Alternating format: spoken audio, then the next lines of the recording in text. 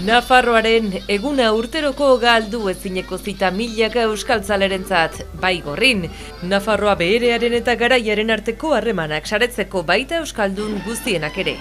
Jemanak sortzea, jemanak sendotzea, egia da behogoi urteko orako historiarekin ba ikusten dugula jemanak iraunarazteko manera ona dela eta lan giroan egiten dira initzetan gauza horiek eta jende batzu etortzen dira Nafarrosotik baita Euskal Egitik txanda baten egitera urtero urtero eta eta guk hori hainitz eskertzen dugu eta hori zor diegu, beraz badira orako trukaketak ba besta egun hortatik hasten direnak. Partekatzeko nola beste entzigantek nola tiren eta bai egun edera bai, sustut parteka, partekatzeko egun hori guretako iziare untsua euskaldarren miltzarra edo herri urratsu zela edo bai dudarik gabe euskararen alde eta eskolarriaren alde eta bai.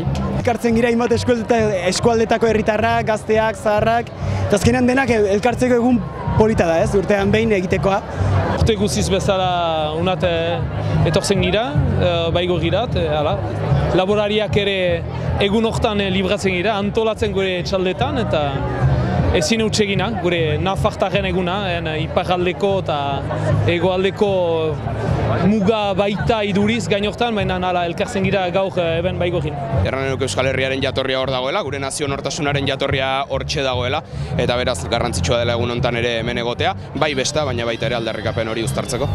Mila bederatzirunda irurogeita zortzitik egin ohi duten modura, berrogeita laugarren edizio hortengoa, Euskal kulturaren folklorizazioa izan dute aurten gogoeten oinarri. Lugalde erakargarri gisa promozionatzen gaituzte, etxe bizitza proiektu handien menpe izanki. Merkatuko arauen kontra eta erria museoko harri bihurtu ez dadin, defenditu dezagun gure etxea. Gogoetatu dugu kulturaren inguruan eta gure kulturaren folklorizatze edo komerzializatze horren inguruan eta justuki erakutsi nahi dugu ba, guk gure kultura, euskal kultura bizi dugula, garatzen dela, aldatzen dela eta ez dela museoetan giltzatzen alden zerbaitez jendeak ordaintzeko horren bisitatzeko eta beraz hori aldarrikatu nahi dugu gaur bai gogin. Zigante eta Nafarro osoko dantzarien desfileak eman zion hasiera egunari.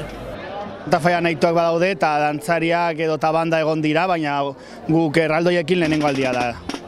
Beko plazatik, Elizako plazara eta bertan izan da ekitaldi nagusia.